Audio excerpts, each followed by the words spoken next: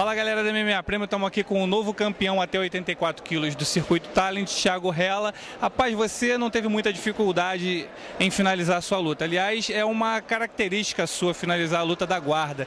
É, mandaram perguntar para você se você acha que a sua guarda é a melhor guarda do MMA brasileiro. Não, imagina que é isso. Eu treino muito duro e tem muito nego bom aí de jiu-jitsu. O Brasil é o celeiro do jiu-jitsu. É, eu sou do jiu-jitsu, eu já fui finalizado, já finalizei, então cada dia é um dia, eu treinei muito, estava pronto, lutei em casa, feliz. E foi isso aí, foi o meu melhor. Eu dei o meu melhor aqui, não deixei nada para depois. Existe um prêmio no MMA nacional que se chama Prêmio Oswaldo Paquetá.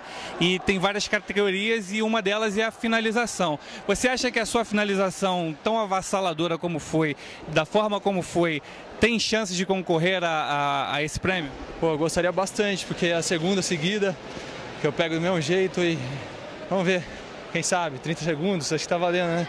E também eu quero entrar no ranking do MMA Prêmio, pô. Tô lá. Se, for pra, pra somar minhas lutas lá, eu tô entre os 10, hein?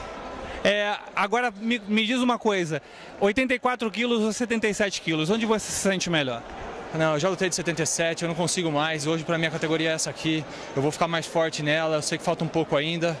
E vamos, vamos trabalhar. Minha ideia é ainda subir mais uma categoria, mas mas vou fazer mais lutas aqui até 84. Parabéns pelo desempenho.